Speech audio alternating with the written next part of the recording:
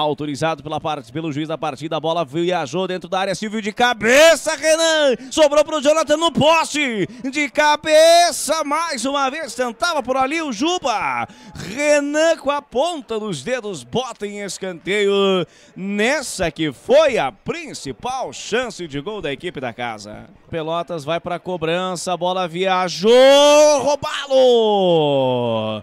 Rafael Robalo voa no carpete de mão esquerda, faz a defesa. Costa, Daniel com o Marcelo, cruzamento de cabeça.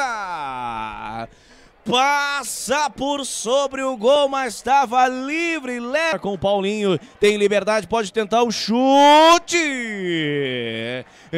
Autorizado, foi para a bola perna direita, passa na boca do... A jogada pode ser boa, marcado por dois jogadores, voltou mais atrás agora para o Gabriel. Gabriel cruzou, Eduardo Renan!